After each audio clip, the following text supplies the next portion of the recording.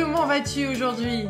Ah, je vais bien, c'est un petit temps euh, tout frais, tout ensoleillé, il y a plein d'oiseaux autour de moi, c'est une bonne journée qui démarre avec toi.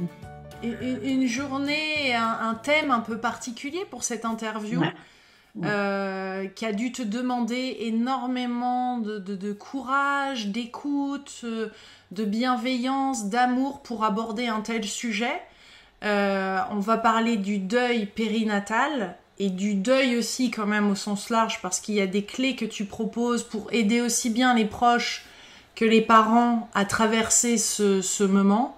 Euh, d'ailleurs, ton livre s'appelle euh, Dans ces moments-là parce que c'est vrai que c'est un c'est une période à passer, c'est un moment, euh, voilà. Et alors, on ne sait pas toujours comment réagir, aussi bien pour les proches que les parents eux-mêmes, que en couple, etc. Donc, tu as plein, plein de conseils dans ce livre. Euh, vraiment bravo d'avoir fait ce, mm. travail parce qu'il est euh, ton livre est vraiment un bijou, un bijou d'informations. Il n'existe pas d'autres livres sur ce sujet-là, puisque mm. la plupart du temps, on voit des témoignages. Et là, tu nous as recueilli des idées, des informations, des façons de communiquer, de faire la différence autour de soi, de... Waouh oh. bravo Merci, ça me touche, merci. Euh, ouais, tu, as, tu es thérapeute, hein, c'est ça, tu es thérapeute, tu accompagnes... Tu accompagnes les femmes de la, naissance et les bébés. Tu, et tu, on avait discuté d'ailleurs à l'époque de, de, la communication connectée que tu as, on peut dire, co-créé avec Frédéric en accompagnant vos enfants. Euh, et, et ce, ce, sujet est venu à toi? Alors, ce sujet est venu à moi et comme tu dis, euh, ça m'a beaucoup aidé d'avoir ce, ce passé de thérapeute derrière moi et d'accompagnante à la naissance, etc.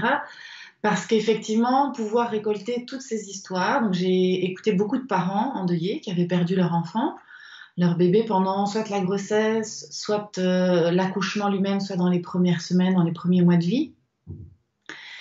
Et puis, euh, c'est ouais, beaucoup d'histoires à écouter, beaucoup d'émotions. Certains venaient de vivre, euh, étaient tout juste dans le début de leur deuil, d'autres l'avaient vécu il y a 10 ans, il y a 20 ans mais l'émotion euh, restait parfois la même, euh, ou en tout cas il était très facile d'y s'y replonger euh, immédiatement pour eux. Et donc oui, ça m'a aidé d'avoir ces outils-là pour recueillir. Et effectivement, c'est pas le livre d'une seule histoire. J'avais envie d'offrir une palette pour que chacun puisse se reconnaître et prendre ce qui lui parlait, parce que un deuil c'est quelque chose de très intime, de très, c'est une expérience unique, très personnelle. Il n'y a pas de recette toute faite. Il n'y a mm. pas si vous êtes à ce stade-là de votre deuil, vous avez besoin de ça ou vous devez faire ça pour vous en sortir. Non, c'est un cheminement, un processus très personnel, très intime. Et donc j'aimais l'idée de pouvoir offrir euh, du choix et que chaque parent, chaque papa ou chaque maman endeuillée puisse se dire ah ben tiens en fait je me reconnais tellement dans cette histoire, c'est ça que je vis, j'ai besoin de mettre ça en place ou ça me fait du bien de me reconnaître dans ce qui vient d'être dit, dans le témoignage d'un autre parent, etc. Ouais. Ce qu'on réalise pas toujours, c'est que le deuil, tu parles de deuil, c'est un deuil de l'avenir, c'est un deuil des prémonitions, c'est un deuil du rêve. C'est pas un deuil du passé. C'est énorme, ça, déjà, de comprendre cet aspect-là. Ouais, ouais. Et pour l'entourage, c'est primordial de, comprendre cette clé-là, comme tu viens de dire, parce que ça fait toute une différence. Quand il y a un deuil, je, je vais appeler euh, plus classique, avec une personne plus âgée, on va dire, il y a toute une série de souvenirs qu'on va pouvoir évoquer avec ce qui reste autour de cette personne. Hein. Imaginons euh, une femme qui devient veuve euh, dans la quarantaine, dans la cinquantaine, mais tous ses amis, ses collègues, sa famille, tout le monde va pouvoir évoquer le nom de son partenaire, ce qu'il a, fait dans la vie, euh, ses valeurs, ses qualités, sa beauté, sa richesse, etc. Dans le cas d'un, d'un petit bébé, ben, la plupart du temps, l'entourage n'a pas rencontré ce bébé l'a pas porté dans ses bras. Bien souvent, ils connaissent même pas le prénom de cet enfant, donc c'est très difficile d'évoquer le souvenir de quelqu'un quand on ne sait même pas le nommer. Une chose, si on ne sait pas la nommer, elle n'existe pas, elle est très difficile à faire exister. Ils vont pas pouvoir se rappeler avec douceur. Tu te souviens pour son anniversaire, on avait fait telle fête, euh, les vacances, on était parti à tel endroit. Et quand il n'y a pas d'histoire commune à partager, le souvenir devient très difficile à faire vivre dans le temps. Donc, effectivement, c'est pas un deuil du passé où on va pouvoir revenir sur des choses qu'on a construites, qu'on a mm. vécues ensemble.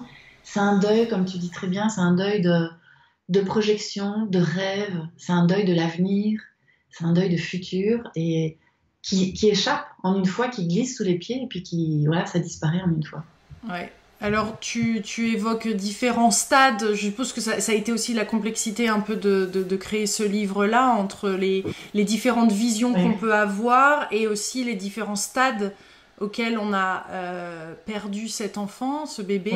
Puisque ça peut être pendant la grossesse, ça peut être une fausse couche, ça peut être un, une interruption de grossesse, ça peut être euh, euh, justement post-accouchement. Tu nous expliques aussi, et on s'en rend pas du tout compte de l'extérieur, en effet, les différentes phases. Est-ce que ça implique pour les parents les différentes étapes pour la maman aussi, de, au niveau de son corps? Oui. Effectivement, alors dans le livre, je fais pas de distinction en termes de douleur. Hein, que ça arrive tard dans la grossesse ou au début de la grossesse, euh, à partir du moment où un parent se présente en disant qu'il vit un deuil et que c'est douloureux, il faut le croire. Il ne faut pas remettre ça en question. Donc là, le moment où ça intervient dans la grossesse, je n'en fais pas une différence dans le livre. Par contre, les vécus sont, sont différents, mmh. effectivement. Mmh. Euh, quand on, est, euh, quand on a une fausse couche, euh, par exemple, une fausse couche médicamenteuse, où on reçoit un médicament à l'hôpital, bien souvent en plus, alors ça, ça dépend, je n'aime pas les généralités, il y a effectivement des, des, médecins, des gynécologues qui sont top, qui vont prendre le temps d'expliquer, etc. Mais sinon, bien souvent, on donne un médicament à la maman, on dit qu'elle rentre chez elle, et puis on lui explique pas grand-chose. Et puis bien souvent, c'est euh, très douloureux, il y a beaucoup de perte de sang, voir son bébé partir euh, dans les toilettes, euh, voilà, désolé pour les détails, mais c'est la réalité et l'entourage ne se rend pas compte de ce qui se passe, ça peut être très perturbant. Ça, ça peut arriver tôt au début de... Enfin, ça peut arriver dans la grossesse assez tôt. Si ça, ça, arrive plus tard, si ça arrive après l'accouchement, effectivement, il y a toute une série de choses que l'entourage ne soupçonne pas. Par exemple, je me souviens moi-même quand je l'avais entendu euh, de, de, de, la bouche d'une maman, ça m'avait ça m'avait touché moi aussi de me dire mais en fait une fois après un certain stade de la grossesse le corps lui fait pas la différence si le bébé survit ou ne survit pas et donc il y a toute cette euh, ingéniosité que le corps met en place elle va continuer aussi par après donc il y aura des montées de lait il y aura pas de bébé pour boire donc il y aura des seins souvent qui vont être euh, fort douloureux alors ça passe évidemment ça dure pas trois mois d'avoir des seins qui font super mal mais c'est une euh, période où on est déjà à fleur de peau émotionnellement. C'est très difficile comme période, physiquement c'est très éprouvant. Et si en plus on a ces douleurs-là, c'est vraiment euh, sacré le cœur. Ouais, tu parles de rééducation périnéale, de congé de maternité alors qu'il n'y a pas d'enfant. De... Exactement. Et, et c'est vrai que c'est des périodes qui sont déjà difficiles avec un, avec un bébé, euh, puisqu'il y a la fatigue et tout ça, et tout ce que ça demande au corps. Mais là, émotionnellement. Ouais. C'est pour ça que l'entourage a un rôle super important à jouer. Ouais. Et euh, parfois, ça fait peur. Hein. C'est très compréhensible. On ne sait pas où ont atterri les parents. Mm. Euh, ils sont catapultés quelque part dans un monde qui n'était pas du tout prévu pour eux, où la vie ne les avait pas du tout préparés à vivre ça. Et donc, les proches ne savent pas où les parents ont atterri. Ouais, donc on dit euh, rien bien souvent. Il y a cette espèce de souvent, on est mal à solitude, certainement. On dit rien, on n'ose pas. Exactement. Mais ça, ça rajoute en fait de la douleur aux parents. Euh, ils ont plus besoin de. Enfin, alors de nouveau, chaque, chaque histoire est, unique et il y a des parents qui vont vouloir être seuls et qu'on les laisse tranquilles et ils ont besoin de d'intérioriser leur deuil de manière très solitaire et c'est tout à fait respectable évidemment. Mais pour la plupart de ce que j'ai entendu, il y a besoin de cet entourage pour valider ce qu'on vit, pour pas avoir l'impression de partir complètement euh, en spirale, de devenir dingue, de devenir fou, parce que si autour personne ne renvoie de miroir sur la douleur que je vis, ben ça, on peut se dire, mais alors je suis complètement, je suis folle, est-ce que j'ai pas inventé ça? Hmm. Ce sont des réflexions qui peuvent naître dans la tête de parents, d'autant plus qu'il n'y a pas beaucoup de traces matérielles de ce passage sur Terre. C'est un passage très court. Et donc, quand l'entourage est là, euh, qui reconnaît déjà tout simplement, reconnaître la douleur, hmm. reconnaître la souffrance que traversent les parents sans chercher à, à vouloir arrondir les angles, même si c'est très tentant, sans chercher à vouloir euh, tout de suite embellir en disant mais t'es jeune, t'en auras d'autres. En fait, tout ça, c'est des hmm. phrases qui sont dites avec les meilleures intentions, mais qui ne font jamais de bien, à hmm. l'unanimité. Alors là, pour le coup, j'ai entendu beaucoup, beaucoup de parents ça n'a jamais été une phrase qui a réconforté, qui a donné de l'optimisme. Parce qu'en disant ce genre de phrase, en fait, on nie ce que le parent est en train de vivre dans le présent. À ce moment-là, le futur, il n'en a rien à faire. Ce qui compte, c'est la douleur là dans la immense dans laquelle il est complètement ensouveli. Mm. Et il y a besoin de reconnaître ça. Simplement dire à les parents, je te vois, j'entends ce que tu vis. C'est difficile pour moi de m'imaginer parce que je ne l'ai pas vécu, mais je fais de mon mieux et je peux, je me dis que c'est peut-être très difficile, ou même plutôt que de mettre des mots dans la bouche des parents, simplement de leur demander comment toi tu vis ça? Raconte-moi ton histoire. Par quoi tu es passé? Comment s'appelait ton petit? Est-ce que tu lui as donné un prénom? Est-ce que vous avez choisi un prénom ou pas? C'est pas le cas de tous les parents. Est-ce que tu as envie de me raconter votre histoire? Le désir même de ce bébé, comment il est arrivé dans leur vie? Qu'est-ce qui s'est passé? Les différents événements? Est-ce qu'il y a eu un diagnostic? Est-ce qu'il y a eu tout d'un coup une mort fœtale non expliquée? Comment ça s'est passé à l'hôpital? Raconte-moi. Donner l'occasion aux parents de raconter leur histoire, c'est énorme. Ça fait du bien, on n'ose pas souvent dire ça, parce qu'on se dit ça va le, ça va le, ça va rendre la personne triste et ça va être. Euh, et là, de nouveau, quasi à l'unanimité. Alors oui, effectivement, ça va rendre la personne triste. Mais de toute façon, elle est triste. Qu'on pose la question ou pas, elle est triste. C'est pas en posant la question qu'on va faire ressurgir, remonter à la surface la tristesse. Elle est là. Hein. il faut s'imaginer comme une piscine euh, avec de l'eau incolore. Mais la tristesse, dans cette piscine, elle est là partout pour les parents. Par contre, quand on leur donne l'occasion de, de parler de ce bébé, parce qu'il faut bien se dire qu'ils l'ont aimé et qu'ils l'aiment toujours. Et, donc, leur donner l'occasion de s'exprimer à propos de ce bébé, c'est leur permettre de se reconnecter à l'amour qu'ils avaient pour eux. La tristesse, ils sont déjà de toute façon connectés. Et par contre, euh, faire semblant que ça n'a pas eu lieu, hmm. éviter le sujet, ne jamais l'aborder de peur de remuer le couteau dans la plaie ou quoi, en fait, ça leur fait plus de peine. Hmm. Et bien souvent, euh, tu disais tout à l'heure, l'entourage a du mal, ne sait pas très bien quel mot utiliser, etc c'est clair que c'est pas facile de trouver, euh, de trouver comment, ne serait-ce que simplement ouvrir la conversation, hein, entamer le, sujet, entamer la conversation, c'est pas évident. Et en même temps, de, quand on écoute les parents, ce que souvent ils disent, c'est on n'a pas tellement besoin d'entendre des paroles bien pensées, bien tournées euh, malignes de la part de nos proches. Ce dont on a surtout besoin, c'est nous de pouvoir nous exprimer. Ouais. Donc c'est une écoute. les proches, mais c'est de parler. Donc c'est pour nous d'avoir une écoute bienveillante, de ne pas apporter des solutions. Exactement. D'être vraiment là dans cette, dans cette présence principalement et, et, d'être au service d'eux. Exactement.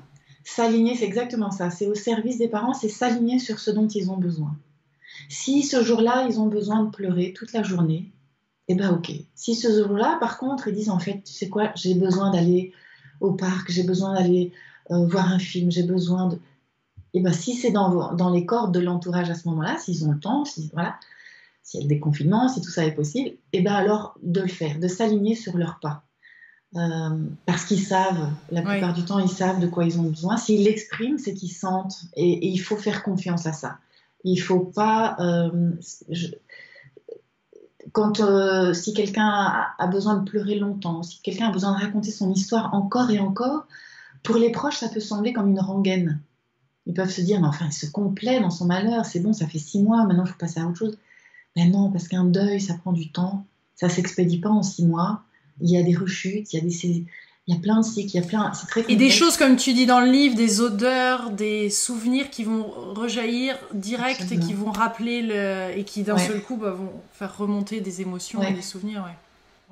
Donc se mettre, euh, se mettre à l'unisson, comme tu dis, se mettre au service des parents.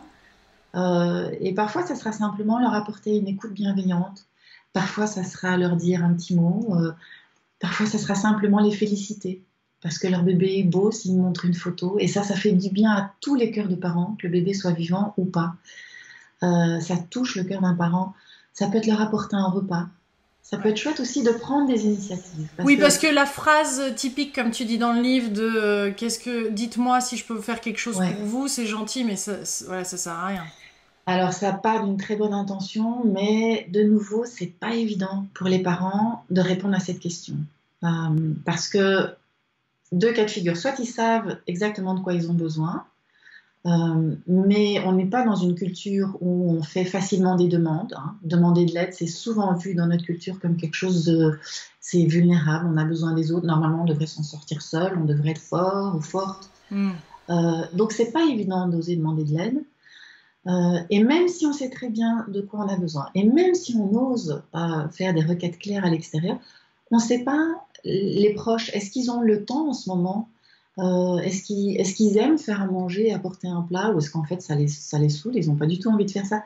Donc c'est difficile de se mettre à la place mm. de l'entourage quand soi-même on a déjà tellement sur les épaules à gérer. et l'autre cas de figure, c'est qu'en fait on ne sait pas, parce que c'est pas évident dans la vie de tous les jours déjà de savoir de quoi on a besoin. Alors quand on est emporté dans une tempête émotionnelle aussi forte et aussi violente que celle-là, ben en fait, de quoi j'ai besoin aujourd'hui? J'en sais rien. En fait, j'en sais rien. Je ne sais pas par quel bout le prendre. Je suis juste épuisée. J'arrive même pas à réfléchir. Mon, mon cerveau est, tout mou. C'est à l'arrêt. C'est tout nébuleux. Et donc, qu'est-ce que je vais demander aux autres? J'ai aucune idée. Par contre, si quelqu'un ce jour-là vient en disant, mais tu sais quoi, tu as des enfants plus âgés qui sont déjà nés, qui ont peut-être 3 ans, 4 ans, 6 ans, je vais les prendre une après-midi. Ou je viens tous les soirs pendant une semaine et je leur donne le bain. Comme ça, toi, tu dois pas, en fin de journée, quand tu es épuisé, déployer des trésors de patience pour les autres parce que tu n'en as plus, tu n'as plus ça en stock. Euh, Puis le vide euh, énergétique semble, euh, semble très présent à la suite du deuil pour un bon mois, sinon plus, mais ça, ça, prend beaucoup d'énergie. On a, on, arrive, on a du mal à. Enfin, en fait, c'est ça qui est fort avec ton livre, c'est que tu nous expliques de l'extérieur, enfin un peu de l'extérieur, et même je suis sûre que des parents eux-mêmes endeuillés découvrent des étapes, des aspects enfin, de, de, de, ce qui se passe réellement, parce que là, c'est... C'est très éprouvant, effectivement, c'est très éprouvant. Déjà, un deuil normal, c'est très éprouvant. Hein. Euh, c'est beaucoup de décisions à prendre dans, dans des temps très courts en général. Il y, a, il y a beaucoup de, de logistique, il y a une fatigue physique terrible aussi, parce qu'il ne faut pas oublier que ça s'inscrit dans une grossesse qui requiert une, qui mobilise beaucoup d'énergie dans le corps de la femme. Euh, ça vient challenger aussi beaucoup le couple. Donc il y a aussi eh une énergie ici qui, a, qui, est, voilà, qui, est, mise à mal ou qui est mise en, en valeur, peu importe, hein, selon les circonstances. Enfin, je veux dire, ça peut varier d'un couple à l'autre. Il y en a qui se rapprochent d'autant plus, il y en a d'autres où ça va mettre encore plus fort en lumière les, les difficultés à communiquer ou les, voilà, les divergences qui s'étaient installées dans le couple. Mm. Euh, donc, il y a au niveau administratif, au niveau euh, du travail, de la reprise du travail après, au niveau simplement de l'appartement lui-même dans lequel on vit, là, de son lieu de vie, il y a, l'entretien quotidien, mais quand on a zéro énergie, c'est très difficile à faire. Il y a la chambre du bébé. De réorganiser ça. Qu'est-ce qu'on fait avec ça? Je me souviens de, de, témoignages de parents qui me disaient, ben voilà, la porte au fond du couloir était fermée, puis on n'a pas pu aller l'ouvrir pendant des mois. Et donc, il y a comme, une zone vide, une zone, euh, une zone en douleur, en souffrance, même dans l'habitat lui-même. Euh, il faut pouvoir se réapproprier ces pièces-là, euh, réouvrir la porte, faire le choix, qu'est-ce qu'on fait avec ce berceau, avec ce maxi-cosy qu'on avait déjà acheté, avec ces petites layettes qu'on avait déjà reçues. L'entourage ne le voit pas forcément, mais quand une grossesse se prépare, il y a plein de petites choses qu'on fait, des cadeaux qu'on reçoit, de la layette qui, qui commence à s'installer dans les armoires, etc. Et puis voilà, après, il va falloir faire tout ce travail euh, quand le moment se présente, quand le moment est juste pour les parents. Hein. Il y en a qui vont le faire tout de suite, puis il y en a qui vont le faire des mois, voire des années après. Et de hmm. nouveau, c'est eux qui ont, qui ont raison, c'est leur tempo qui est juste, parce que c'est leur histoire, c'est leur deuil, c'est leur bébé. Ouais. Alors tu, tu donnes plus de... Enfin, tu as recueilli, regroupé plus de 130 idées, puisque toi-même tu ne l'as pas vécu, mais tu as regroupé ces, tous ces témoignages et ces idées aussi qui venaient de, parents qui l'ont vécu et qui auraient voulu avoir ça aussi. Donc c'est ça qui est... Qui, qui, qui, parle immédiatement quand on le voit, comme d'offrir par exemple cette couverture toute douce. Ouais. C'est beau ça. Ouais, alors ça c'est une, une, des idées qui me touche beaucoup. Euh, au propre comme au figuré, euh, parce que quand on vit un deuil périnatal, très souvent on sent les bras vides. On n'a pas ce bébé à cajoler, on n'a pas ce bébé à caresser, on n'a pas ce poids physiquement dans les bras. Euh, et on a besoin de douceur aussi. Quand on caresse un bébé, on donne de l'amour, mais on en reçoit plein en retour. Et là, quand euh, parfois on n'a pas envie que les autres nous prennent forcément dans les bras, on est tellement fatigué, tellement... pour certains, c'est difficile. Hein, un, gros hug, un gros câlin, c'est difficile. Par contre, recevoir une couverture toute douce, mm. sans bobiner dedans, sans rouler, se cajoler, euh, utiliser ses bras, utiliser la fonction que les bras auraient dû avoir pour ce bébé, mm. ou pour lesquels on avait prévu qu'elle caresse ce bébé, bah, de pouvoir se les offrir à soi-même, de pouvoir s'apporter de la douceur, de pouvoir s'enrober dans l'amour des siens.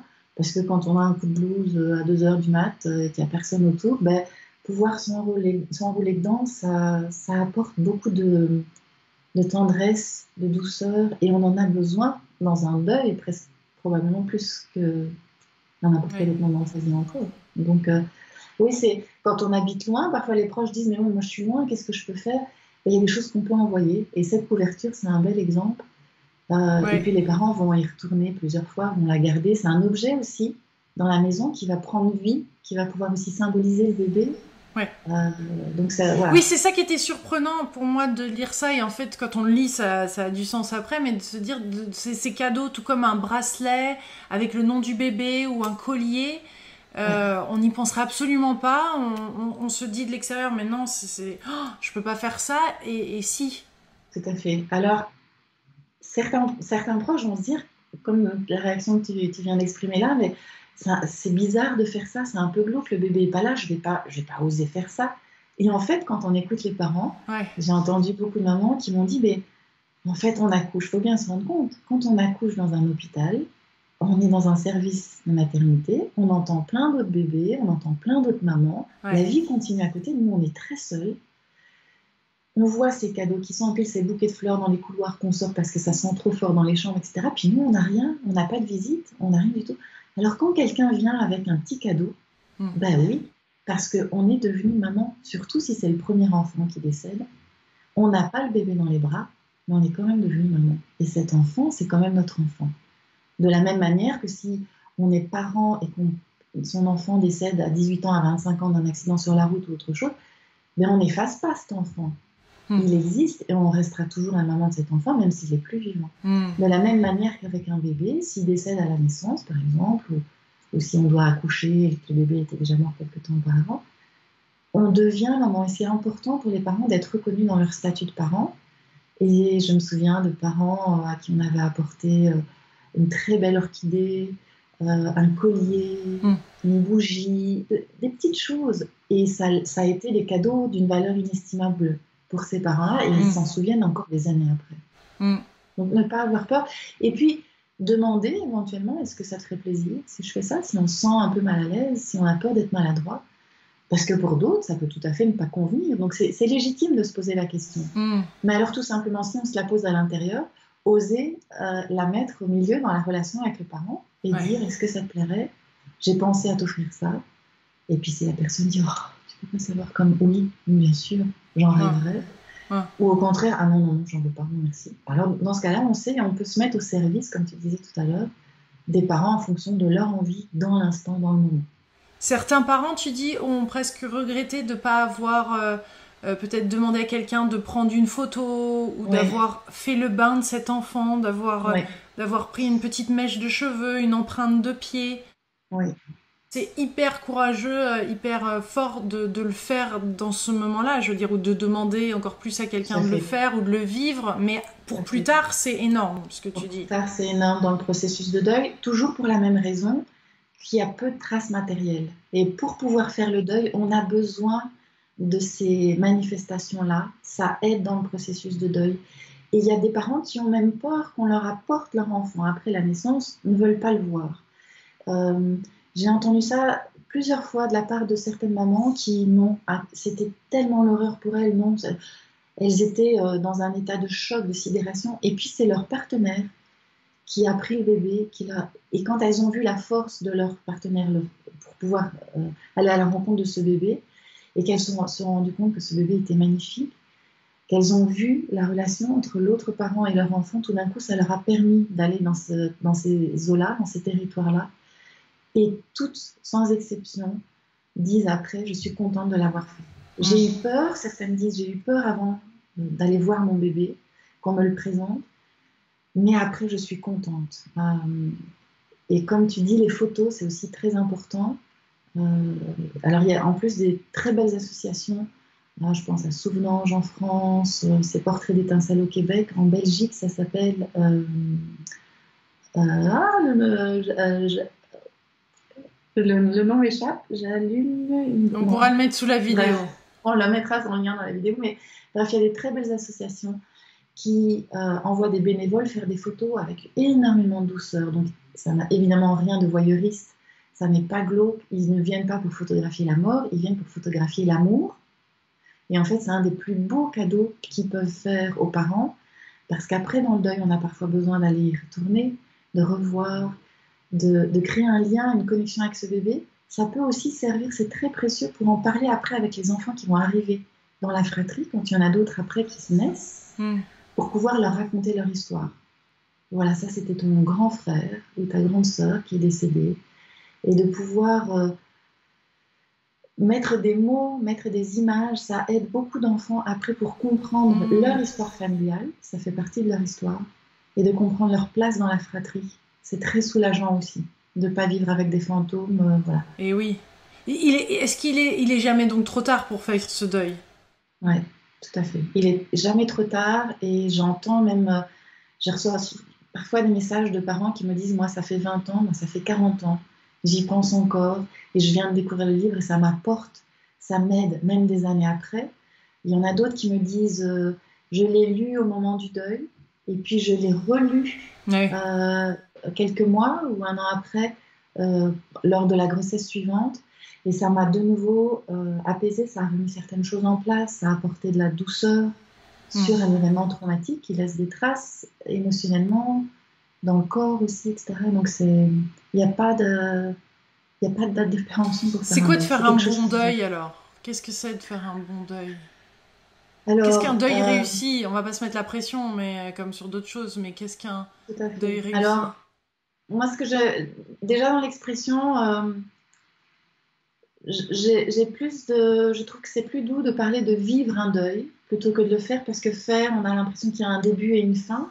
Et un deuil, en fait, c'est cyclique, ça passe par des hauts et des bas. Il y a des périodes de paix, puis des périodes ouf, ça va, ça va réveiller quelque chose. Il y a un papa dans le, dans le livre qui a perdu son, son bébé euh, au tout début de la vie de cet enfant, il y a une vingtaine d'années. Et puis là, cet homme devient grand-père. Et avec la naissance de son petit-fils, Aujourd'hui, ça vient réveiller, ça vient hmm. ramener des choses à la surface. Donc oui, il y, a des, il y a des moments dans la vie où c'est plus fort, plus d'autres. Mais on va toujours vivre avec cette histoire, elle fait partie de notre vécu. La manière dont on le vit va évoluer. Euh, la plaie béante, ouverte, qui fait mal, euh, qui fait terriblement mal, à un moment donné, elle se, elle s'apaise, elle se referme proprement euh, ça ne veut pas dire qu'on oublie, ça c'est ça c'est un, piège dans lequel on peut tomber quand on est endeuillé, où on se dit en fait je veux pas avancer dans mon chemin de deuil, je veux pas ressentir moins de souffrance parce que sinon je vais oublier mon enfant. Et, en plus si personne n'en parle autour de moi, alors je, vais avoir cette culpabilité de, le presque de le tuer euh, alors qu'il est déjà, de tuer son souvenir quoi. Et donc faire attention de ne pas associer je suis en souffrance, donc j'aime mon enfant. On peut l'aimer et en même temps, cette souffrance évolue. Il y en a certains qui, euh, y a certains parents qui trouvent un sens à ce qu'ils vivent, qui trouvent une, euh, l'occasion de se réinventer, soit par rapport au deuil périnatal, soit par rapport à leur métier, soit par rapport à leur manière d'être parent. Et donc, ils vont trouver une manière de, de vivre en paix avec la douleur. Ça ne veut pas dire que la douleur n'existe plus, ça veut dire qu'elle a un autre goût et qu'on peut retrouver le goût de vivre par ailleurs, sans oublier, surtout pas, en oubliant, mais en vivant cette dualité de je peux avoir encore de la peine ou de la tristesse et l'émotion peut être encore là par rapport à cet enfant, et en même temps je peux m'ouvrir à une autre forme de vie et, et aimer ce qui reste encore à vivre. Mais ça c'est à chacun, c'est un cheminement qui peut prendre des années qui peut aller plus vite aussi, mais chacun va vivre son oui, il y a des étapes. Il y a des étapes. Il y a un refus, il y a le déni, il y a voilà. la colère. Et, on peut repasser plusieurs fois par ces étapes. Ce n'est pas parce qu'on n'a plus de colère un temps qu'on n'en aura plus jamais. C'est pas parce qu'on n'a plus de de choc qu'on n'en aura plus jamais. Voilà, il y a des états dans lesquels on peut revenir presque en spirale, mais à chaque fois, la spirale s'aère un peu plus et puis on peut faire rentrer davantage d'éléments de vie dans sa vie d'aujourd'hui. Euh, voilà. C'est surtout à la personne endeuillée de pouvoir dire quand elle sent qu'elle est, qu'elle est, euh, qu'elle est apaisée. Alors je ne sais pas si le terme apaisé est vraiment le bon terme, mais qu'elle euh, qu'elle peut respirer à l'intérieur. J'aime bien l'image de respirer à l'intérieur de la douleur. La douleur, elle est là, on la nie pas mais en même temps, ouf, on a pu ouvrir quelque chose, on a pu respirer, faire des poches euh, de vie à l'intérieur de ce, de ce traumatisme. Euh, il y a plein de techniques. Que avec ça, c'est là, mais on peut se connecter à la joie, à la beauté. voilà. Et s'autoriser à vivre. Euh, voilà. voilà. C'est et, c'est pas ouf. Voilà. C'est et, et c'est un cheminement, et c'est ok que ça prenne du temps. Il ne faut pas euh, se mettre la pression. De toute façon, même si on se la mettrait, ça, ne fonctionnerait pas. Euh, si on se la mettait, c'est un rythme qui est presque indépendant de nous. Alors, on, peut être évidemment très acteur de son deuil. On peut décider de lire des livres, de faire un travail thérapeutique, de, de rejoindre un groupe de parole sur le deuil périnatal, d'aller dans des associations de deuil périnatal, de faire des rituels. On peut évidemment être très acteur hmm. ou actrice dans son deuil, et en même temps, il y a un temps qu'on ne maîtrise pas, qu'on ne compresse pas, qui est le temps de la vie, qui est le temps des émotions et qu'on ne contrôle pas forcément avec notre tête et avec toutes les actions qu'on met en place. Hmm. Mais ça ne veut pas dire qu'on est impuissant. On peut effectivement mettre toute une série de choses en place. Ouais. Mais tu, tu, donnes d'ailleurs des conseils pour les hommes de retrouver des cercles d'hommes, d'en parler, de femmes, les tentes rouges. Enfin, comme je disais tout, à l'heure, il, y a plus d'une centaine d'idées, 130 idées euh, qui sont là dans lesquelles on peut piocher, quelle que soit notre situation, ce qui est hyper pratique parce que forcément qu'il y a quelque chose qui va nous parler à un moment et peut-être pas à un autre. Euh, on, sent que, tu, que pour toi, la communication non violente est quand même fait partie de tes outils, de ta boîte à outils que tu souhaites partager dans ce livre aussi? Tout à fait, ça me paraît important. Le, terme que tu as utilisé tout à l'heure, j'y reviens souvent parce que c'est très beau de se mettre au service des parents. Donc ça veut dire quoi? Ça veut dire s'aligner sur leurs besoins du moment. Hmm. Et leurs besoins peuvent changer, peuvent changer d'un jour à l'autre, d'une heure à l'autre. Ça peut changer entre l'un des deux parents, enfin les deux parents vont pas forcément avoir les mêmes besoins parce que c'est deux personnes différentes, deux processus de deuil différents. Hmm. Donc pouvoir s'aligner sur les besoins des parents, c'est capital et donc aussi, quelque part, ça veut dire pour les parents, euh, de pouvoir se mettre à l'écoute de leurs propres besoins, ça va être une clé importante dans leur deuil. Alors ça ne veut pas dire que doivent se mettre encore une charge supplémentaire sur les épaules, en plus de tout ce deuil, de tout ce trauma, qu'ils vont devoir identifier leurs besoins, etc. Non. Si c'est pas possible, si c'est pas envisageable ces temps-ci, c'est OK. On fait comme on peut. C'est déjà énorme de mettre un pied devant l'autre. Chaque journée vécue est déjà par moment un exploit, donc c'est OK. Mais l'invitation, c'est que dès qu'il y a un petit peu de suffisamment d'énergie pour dire en fait, moi je rêverais de ça. Je rêverais qu'il y ait une copine qui vienne, euh, qui me fasse couler un bain, puis qu'on papote, ou juste qu'elle soit à côté, qu'elle amène une BD et que moi je dorme, je, fasse une sieste, où j'ai envie de qu'on m'offre un, petit city trip avec mon amoureux parce que j'ai besoin de me changer l'air, les idées, quoi que ce soit. Mais dès qu'on sent qu'on a une petite envie de pouvoir s'y accrocher, parce qu'elle est certainement très juste, de pouvoir se fier à ses intuitions, d'écouter ce besoin et d'oser en faire la demande parce que, comme je disais tout à l'heure, même si c'est difficile dans notre culture de faire des requêtes, de faire des demandes, en même temps, ça fait énormément de bien à la personne. Mm qui va l'exprimer parce que du coup, elle va avoir plus de chances que les autres s'alignent sur ses besoins. Mais ça fait du bien aussi à tout l'entourage parce que mm. bien souvent, ils, sont paumés, ils savent pas quoi faire, mm. ils n'ont pas d'idée. Est-ce qu'il vaut mieux que je la laisse seule ou est-ce qu'il vaut mieux que je l'appelle? Est-ce que je vais l'envahir ou au contraire, est-ce qu'elle va se sentir euh, ignorée? Ils n'en savent rien du tout. Donc quand on leur donne des pistes, euh, ça les guide énormément. Après, ça les soulage en fait. Et eux peuvent alors du coup offrir le meilleur d'eux-mêmes, offrir tout leur amour, toute leur tendresse, toute leur amitié.